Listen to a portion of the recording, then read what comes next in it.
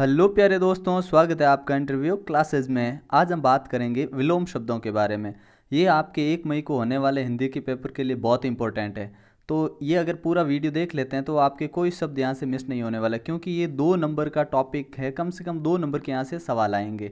ठीक है ना? एक नंबर का तो हंड्रेड परसेंट है, लेकिन दो नंबर का भी आ सकता है, क्योंकि हम कुछ भी टॉपिक पीछे नहीं छोड़ रहे हैं तो आपके सारे वीडियोस आपको देख लेने हैं, ताकि आप शानदार स्कोर कर पाएँ।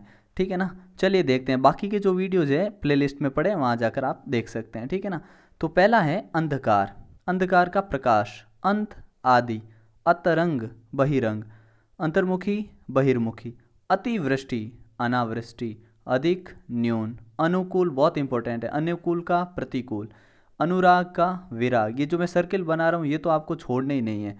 अपमान का सम्मान, अपराधी, निरपराध ध्यान रखना निरपराधी नहीं होता। अपराध निरपराध अपराधी निरअपराध, ऐसे, ठीक है ना? अर्वाचीन, प्राचीन, बहुत इंपॉर्टेंट है। अल्पायु, दीर्घायु, अनुज, अग्रज, बहुत इंपॉर्टेंट है। अनुज, अग्रज, ठीक है ना?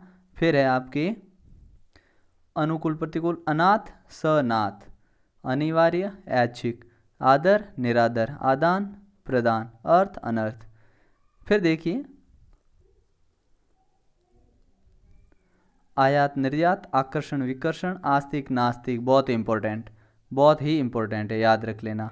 ठीक है? अभ्यंतर बाह्य, आय, व्यय, आकाश, पाताल, आहार, निराहार, इच्छा, अनिच्छा, इष्ट, अनिष्ट, गुण, अवगुण, दोष, हास्य, रुदन, गृहस्थ, वैरागी, गद्य, पद्य, चल, अचल, चेतन, जड़ इम्पोर्टेंट है, जीवन, मृत्यु, बहुत इंपॉर्टेंट है, ज्ञानी, अज्ञानी, तरल ठोस। फिर देखिए। यह लोक परलोक, उचित, अनुचित, उत्कर्ष, अपकर्ष। इंपॉर्टेंट है नोट कर लीजिएगा। उत्तीर्ण, अनुतीर्ण, उत्थान, पतन, उष्ण, शीतल। उदार, अनुदार, उपकार, अपकार, उपस्थित, अनुपस्थित। एकता, अनेकता। कटु, मृदु, सरल, कठिन। तरुण, वृद्ध, दीर्घ, लघु। दुर्बल, सबल। दुर्लभ, सुलभ। ठीक है ना? दोनों बहुत इंपॉर्टेंट है, याद कर लेना। नश्वर, शाश्वत। निंदा स्तुदे या प्रशंसा। निरक्षर, साक्षर। पराधीन, स्वाधीन। परमार्थ, स्वार्थ। मौखिक, लिखित, बहुत इंपॉर्टेंट यश, अपयश। रक्षक, भक्षक। फिर देखिए, कृतज्ञ, कृतघन। याद कर लेना। बहुत ही बहुत ही ज़्यादा इंपॉर्टेंट कोमल कठोर, कीर्ति, अपकीर्ति।